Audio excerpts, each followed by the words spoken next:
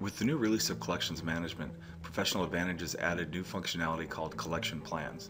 Collection Plans allow you, allow you to define a set of steps that you want to use in your collection process, and different collection plans could be assigned to different groups of customers.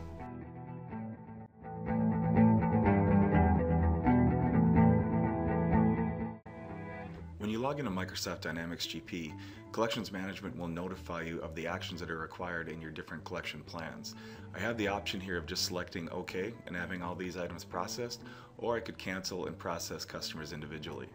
Also, I have the ability to, if some of my customers don't accept email, I can print out letters that don't email. So all I need to do now is hit OK, and Collections Management is going to automatically work through and process all of my emails and create phone call tasks for me automatically.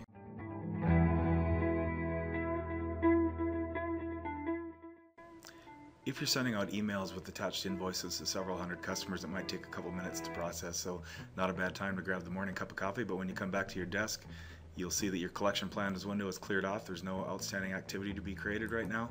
I can log over and see my collection task list. So now what it's showing me, these are the actual calls that I now need to make, or these could have been assigned to other collectors in the system as well. And if I switch over to Microsoft Outlook and look at my sent items, I can see here I've got a, a customer with quite a few invoices attached that was automatically created and sent.